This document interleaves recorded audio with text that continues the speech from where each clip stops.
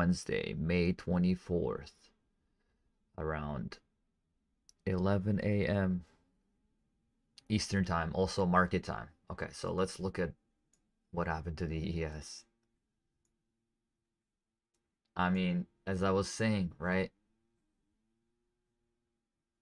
This looks like it's like the beginning of that retracement, right?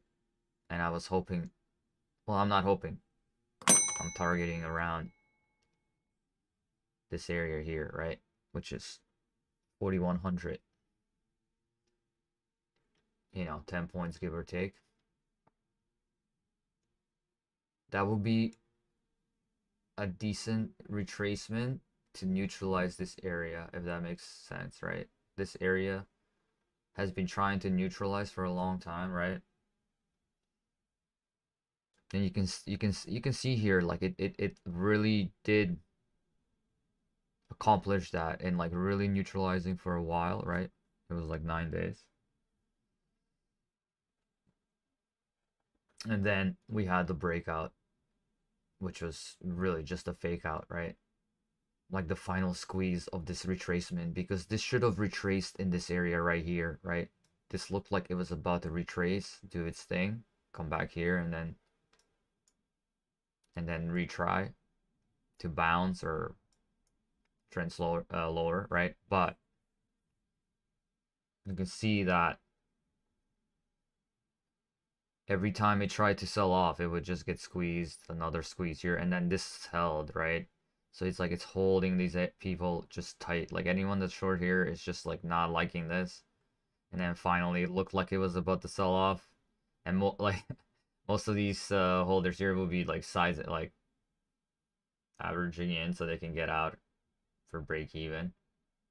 Well, some of them didn't get a chance to do that, so they got blown out, right?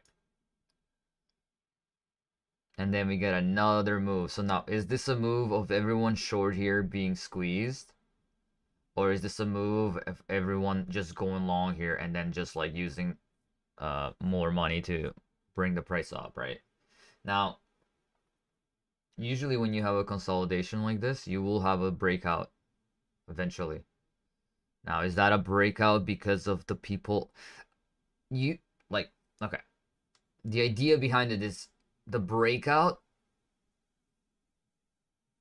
has a lot of people trying to go long or trying to sorry the consolidation has a lot of people trying to go long or trying to and, and people trying to go short right the more it consolidates the more people are going to be invested. And then at one point one side or one person or, or just someone like slams the bid or or the ask right? In this case and then everyone that's short here they have to cover right? So that adds fuel to the fire right? And then people that are breakout buyers they buy in right and they move the price up right? Now yes this stayed here because a lot majority of the people that were in here they were like long bias. So this thing obviously there's profit taking around these zones right? We formed our high, which was like right there, right? And then, right, which re reject, reject, and then you're gonna get the final sell off because this movement was caused by a short squeeze, not by a not by people that were willing to hold, right? And even if they are willing to hold, I mean, this move happened so fast after this. So you, you know there's a lot of volume waiting to take profit here as well, right? So the the side that won has a lot of profit takers and yeah, they, they're all going in here and then, you know, they tried to make it look like they wanted to take it a leg up, which makes it even better for people to get trapped even harder. And finally, like if you see this like fail, fail, and not higher fail. The thing is, this took out a lot of liquidity on in areas that were like relevant from a while ago, right? So that liquidity got taken out, and now look, you know, it was not it, right? That wasn't the spot where we're gonna break out of, right? Now we could, you know, everything I'm saying here could be wrong, and they could just like trap shorts and just take it up, right?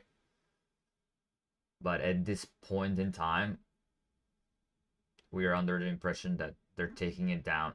We don't know why they're taking it down. Is it because they have too many contracts that they need to take some profit so they can size in at a better price? Like just want to take the price down to size in at a better price, or are they just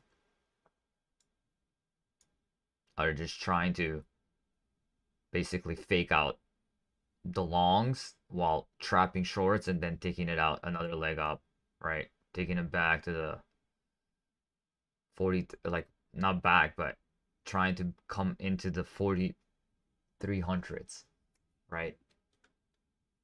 Close to that. Just breaking out above 4200 right? Would be a bullish really bullish sign right?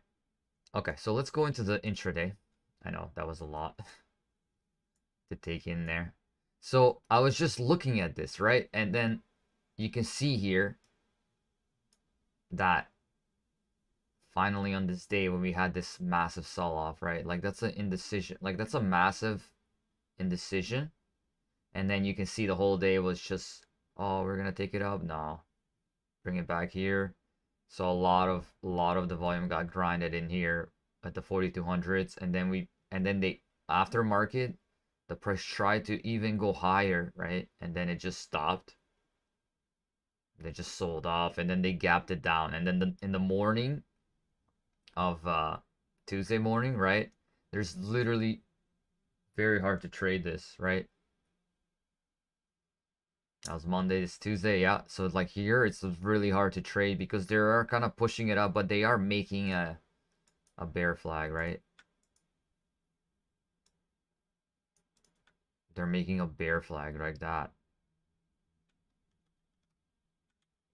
which makes it bad. Which is bear it's it's bearish, but again, they could have squeezed it up to here before they took it down. But the it's just the weight of this was so high, and there was a lot of volume thinking that this was the dip buy, and they all got wrecked, right? They all got squeezed. And then you see these like clean bounces, right? To size in, size in, then bring the price down to here, right? This broke down midday around noon, right? Which makes it even more interesting because, you know, most people would have stopped trading here. Because I was one of them, right? I was thinking like, okay, well, they're going to just hold this thing up like this up for the whole probably day.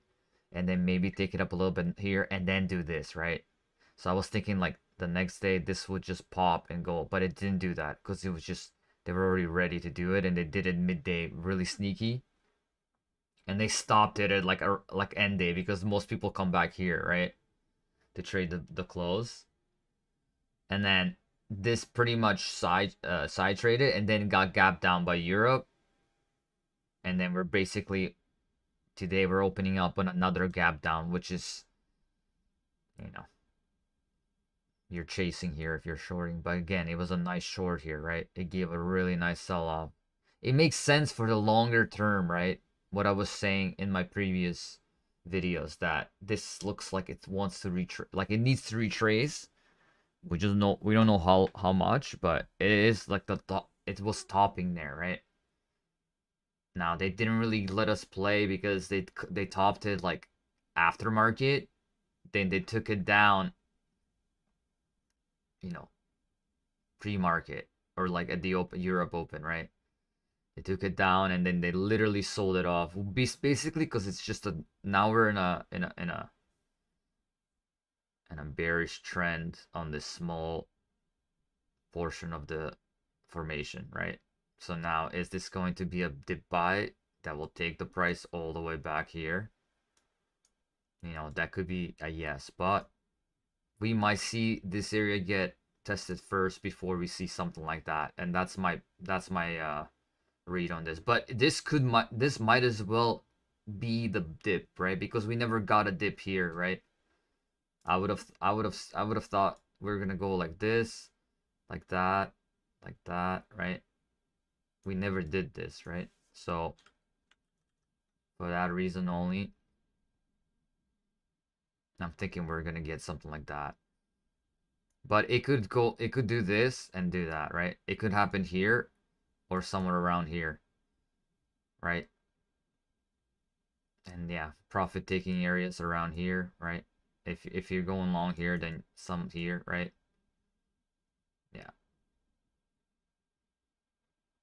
Or we can break down even more and retest this area here, right? Do something like this. Yeah. Those are the those are the scenarios that I'm looking at right now.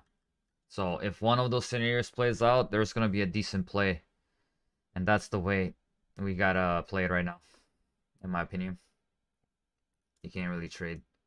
Like, look at this, you know. You could have taken this sell sell off from the open because we were like really bearish and we it looks like we're we're starting a trend where it's like pure selling off and then we don't know where it's gonna stop. But here there's some signs that it wants to stop right here, right? This area right there. But the ideal the ideal area would have been here. So we should have seen something like that. We could still see it, right? as soon as I stop recording, it's gonna do that, and then, yeah.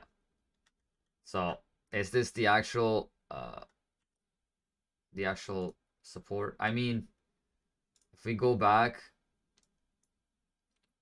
we do have support here, right? So,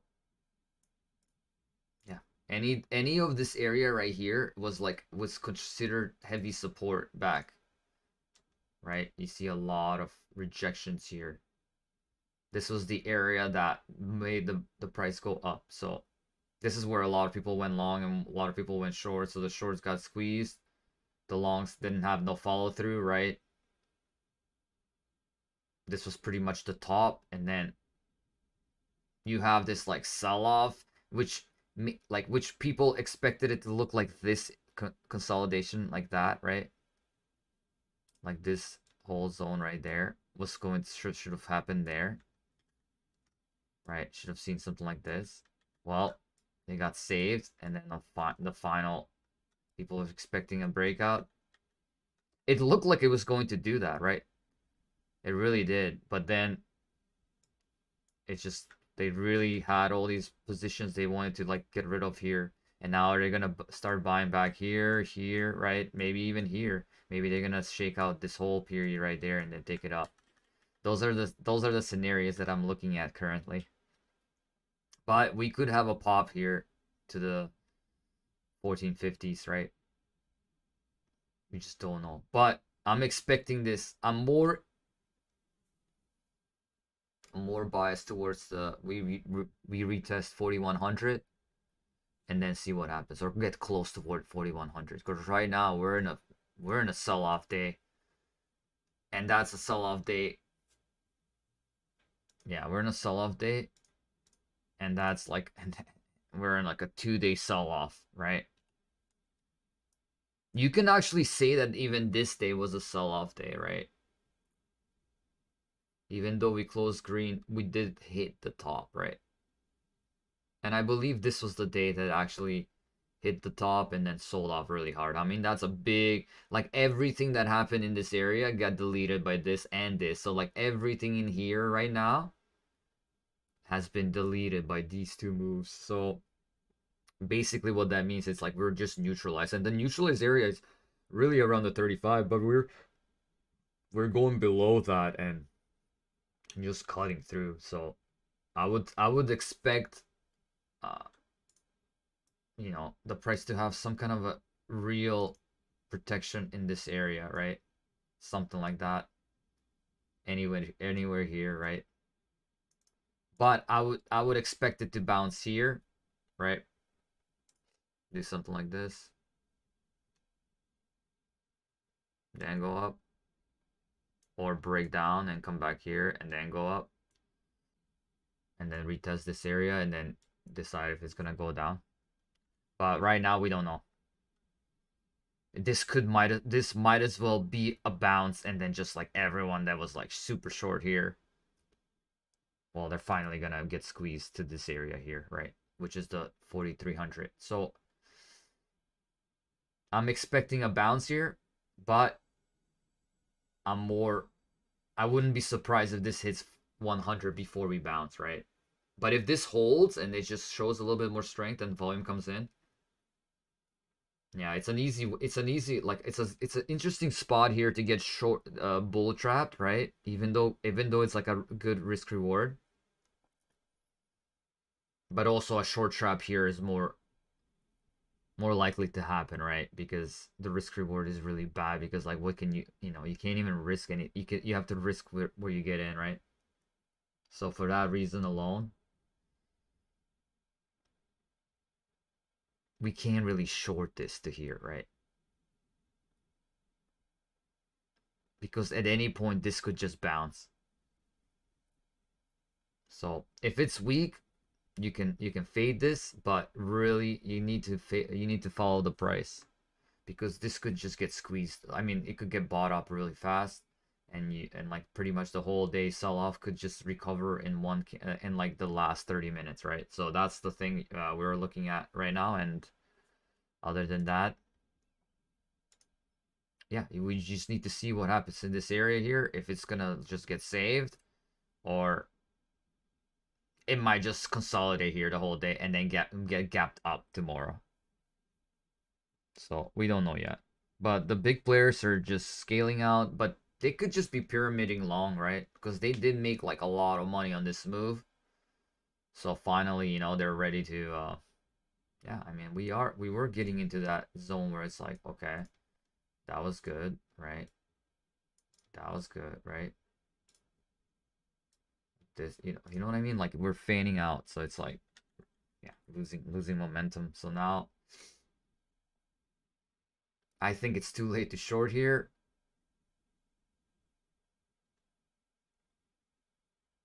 it's more more likely to get a bounce. So I wouldn't touch it here, pretty much. What I'm saying. It's like if it gets here, I would be interested in going long. But if it's doing this here, it could just like slam long, short here and then go long, right?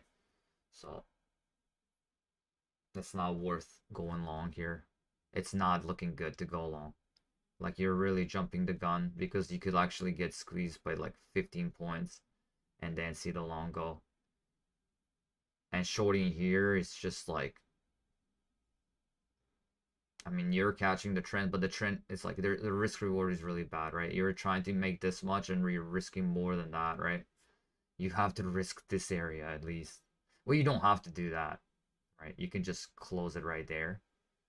But you have no big area to short off of. So right now, it's just not a good place to to play that and i think for that reason they made it they made it like this so they don't want people to uh like this is the all the profit they gave us right because they don't want they, they don't want retail to just be sizing these trades because they yeah they just basically snuck it under like it just gapped it down and like with a fake gap up into into a gap down right which is really bad because a lot of the volume didn't get a chance to get out. And I think maybe whoever's making the move, they were the only ones that were able to profit. And, you know, 1 or 2% of retail or whatever, people that have a good insight. They could have they could have seen this read, you know, earlier. But that's pretty much it. I mean, yeah. It was an interesting day. Like this is a really interesting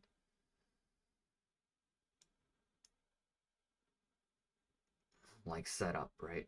the way this set up the whole time. And now it's just not even showing any strength, which makes me think the big players are sizing out. Now, I, do I think they're going to be sizing out forever? No, but they could size out to any of these zones here. And if they if once they get to these zones, they're going to decide if they're going to size in or not. But right now, I would just consider this a potential bounce zone till we um, unproven otherwise, right? That's it. Just stay safe right now and just pay attention to these setups and play them accordingly. Yeah, stay safe and good luck.